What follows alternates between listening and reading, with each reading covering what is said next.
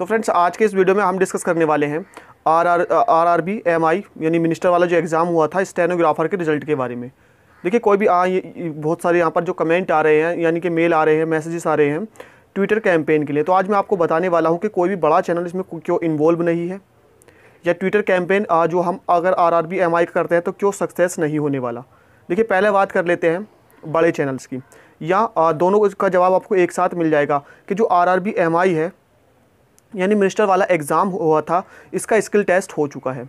तो अब इसका स्किल टेस्ट हो चुका है तो कोई भी जो बड़े चैनल हैं, जो एग्ज़ाम्स के नाम पर रिटर्न एग्ज़ाम के नाम पर अपने पेड कोर्स बेचते हैं, बच्चों को ठगी करते हैं, पेड कोर्स बेचते हैं तो इसका रिज़ल्ट से उनका कोई फ़ायदा नहीं होने वाला है तो इसलिए इसके रिज़ल्ट को लेकर कोई भी जो बड़ा चैनल है, वो आवाज़ नहीं उठाने वाला है। क्यों?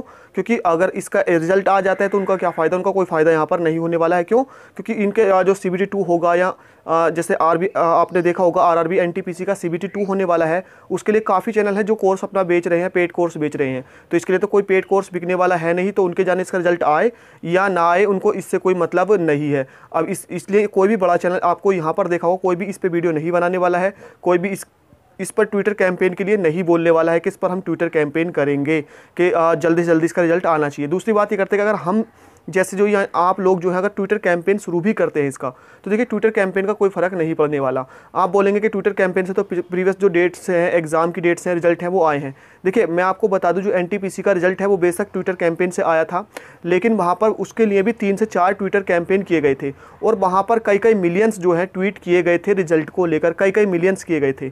यहाँ पर कई कई कई कई मिलियंस नहीं होने वाले, यहाँ पर लाख भी नहीं होने वाला, सिर्फ़ और सिर्फ़ कई हज़ार तो हो सकते हैं। सात हज़ार, आठ हज़ार, बस इतने ही ट्वीट्स हो सकते हैं। R R B M I के लिए अगर हम ट्विटर कैंपेन ऑर्गेनाइज करते हैं, यानी ट्विटर कैंपेन करते हैं तो ऐसा कुछ नहीं होने वाला क्योंकि देखिए सरकार ने तब नहीं सुनी थी, रेलवे ने तब नहीं सुनी थी जब कई कई मिलियन ट्वीट्स गए थे।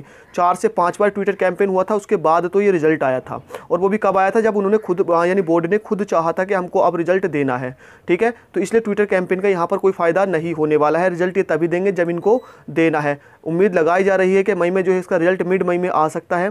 तो इसलिए मैं आपको बता रहा था कि ट्विटर कैंपेन यहाँ पर क्यों इसका सक्सेस नहीं होता। कोई भी बड़ा चैनल इसमें सपोर्ट नहीं करने वाला और बड़े चैनल तो छोड़िए, जब स्टूडेंट्स में ही क्लास नहीं है। देखिए मतलब क्या होता है अगर एमआई वाले ट्विटर कैंपेन कर रहे हैं तो उसमें सिर्फ़ एमआई वाले ही जो है ट्वीट करेंगे। बाकी कोई इन्वॉल्व नहीं होता कि भाई हमारे से क्या मतलब है। तो ऐसा नहीं होना चाहिए। अगर ट्विटर कैंपेन कोई भी चल रहा है, आपको उसमें भागीदारी लेनी चाहिए अगर वो सही है तो।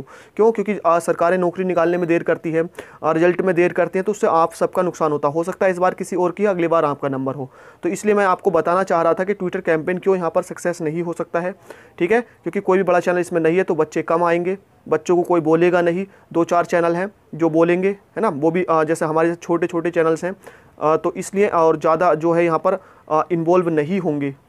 कैंडिडेट्स भी सोचेंगे हमारा नहीं है हमारा नहीं है। इसलिए ट्विटर कैंपेन सक्सेस जो है नहीं होगा। तो फ्रेंड्स यही बताना था। आ, बस वेट करते रहिए कोई भी अपडेट होगा तो मैं आपको बता दूँगा। आई होप आपको ये समझ में आ गया होगा। थैंक यू फॉर वॉचिंग मिलते हैं नेक्स्ट वीडियो में।